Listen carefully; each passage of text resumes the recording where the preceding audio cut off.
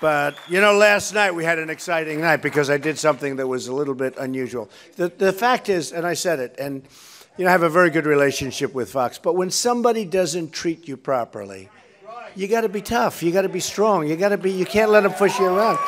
And, and that grow, you know, it goes for the country. When you're not treated properly, you have to stick up for your rights. And if I'm your leader, we're going to stick up for the rights of the country. What happened last night, though, was amazing because I wasn't treated right. I did something that was very risky, and I think it turned out great because I'm on the front page of every paper. I'm getting more publicity than if I, you know, I don't know. This way, we made our point, and Fox was very nice. They very much wanted me for the debate, and they tried very much. And I wanted to do it, frankly. Uh, I actually asked them, I said, give $5 million to the vets, and I'll consider it.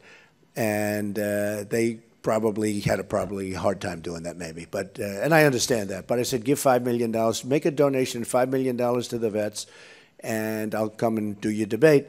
And they were really unable psychologically to do that and i said that's okay. We went out and raised six million dollars which is fantastic so it worked out. So it all works out